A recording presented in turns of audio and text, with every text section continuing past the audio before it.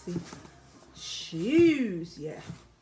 So, be right back while I get into All right. Finally in the box. Looks like that. Um, these are, what do they call these? Oh, I guess Cardi B. I don't know what they call them, but looks like that. That's what they are. I got it in a size 10. Yeah, these are a size 10. And open looks like that. smells like glue. It doesn't it doesn't smell like a shoe. anyway, um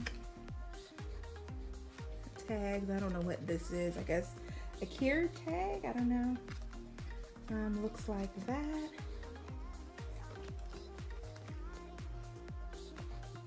And here's the shoe that I got. Mm -hmm. See? Says Reebok. It's transparent. Bottom looks like that, guys. So they look really cute. I'm liking it so far. Looks good. If you have any um Cardi B shoes, um, let me know. Pink is my favorite color. That's why I chose the pink. Normally, I don't even get celebrity shoes. I really don't. But I thought these were cute, so that's why I picked them up. Hmm.